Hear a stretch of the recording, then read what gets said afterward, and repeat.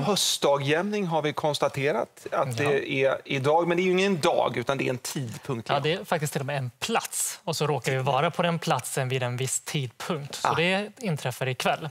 Så vi har med oss en jordglob bara för att illustrera det. Mycket bra. Ja, och eftersom Thomas, du är en sån stjärna så får du vara solen. Oj, oj, oj. Oj, oj, oj. Ungefär samma dragningskraft. Ja, Förstås. och ni ser här, jorden lutar på den här globen och det är inte för att det är snyggt utan för att jorden lutar faktiskt 23,5 grad längs eh, dess omloppsbana.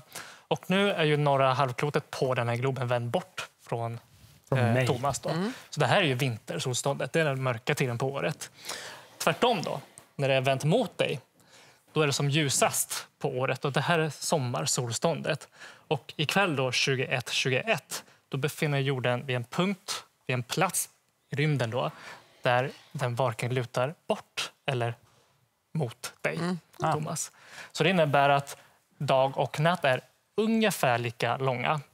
Och vad menar jag med ungefär? då? Jo, för den här platsen den är baserad på geometrin i rymden. Så när man säger att det är natt, då är mitten på solskivan precis under horisonten. Men då brukar vi inte se det som natt, då är det ljust fortfarande. Ja, ja, okej.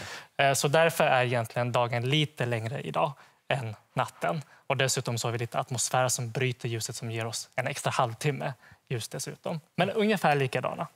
Okej, Det är och, det, och, och vilken tid i Sverige inträffar detta då? 21.21 inträffar det i 21. hela världen. Det är en punkt där jorden befinner sig, så det är samma överallt. Och sen går det 21, undan i rasande fart. I rasande fart, och då det blir det riktigt mörkt. supermörkt och deppigt. Så Och går det bara ut. snart är det jul.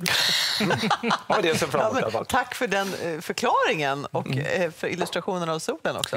Jag tycker att min insats nog var den bästa. Ja, det tycker var jag också. starkt. Den Det kommer gå till historien, Ja, som sagt. Samma lyster eh, Ja. även som solen. Men apropå solen kan vi ta och kika på eh, solfilmen.